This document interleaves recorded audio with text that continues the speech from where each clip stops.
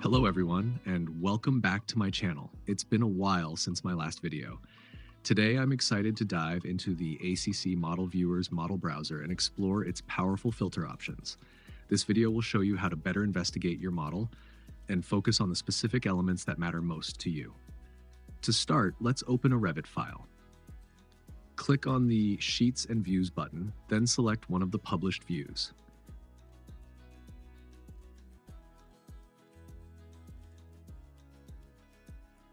At its core, the Model Browser's filter feature allows you to isolate specific elements, just like selecting an element, right-clicking, and choosing Isolate from the context menu.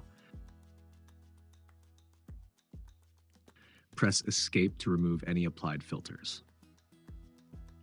You also have access to the default dropdowns and search bars for levels, categories, and disciplines to quickly refine which elements you're viewing.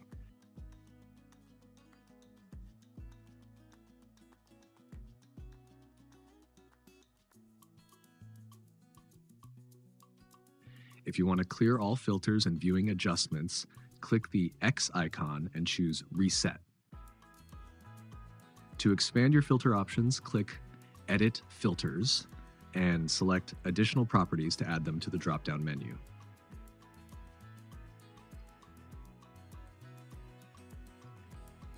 Once added, these properties become new filter tools, making it easier to refine your focus on very specific elements if needed.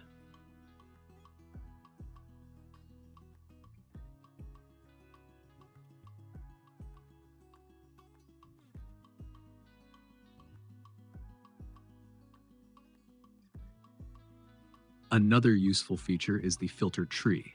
You can quickly isolate elements by selecting them in the tree, which automatically hides everything else.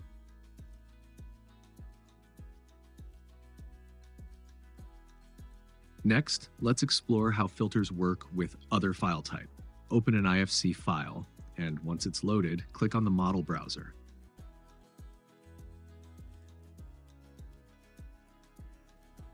You'll notice that the IFC elements can also be isolated using the dropdowns, search bars, or the filter tree.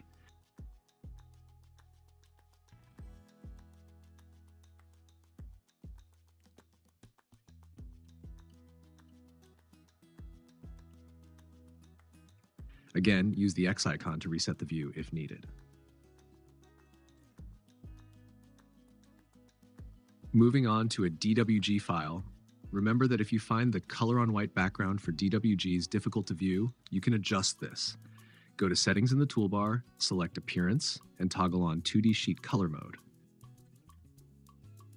In DWG files, the model browser filters out blocks and other entities, but doesn't provide detailed filtering options. Instead, it's best to use the Layer tool for DWGs, which lets you filter by the file's layers. You can also use the search bar here to quickly find specific layers.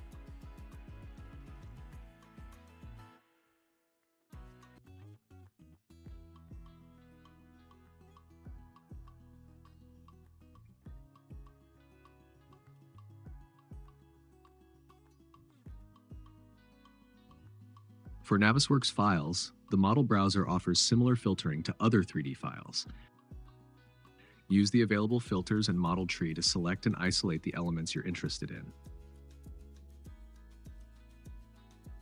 In addition, the Viewpoints tool will display available viewpoints from the Navisworks file.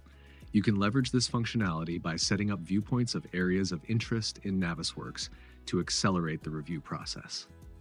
I hope this video was helpful. Let's keep building better in the cloud. Stay tuned for more tips and tools. Please like and subscribe, and I'll see you next time.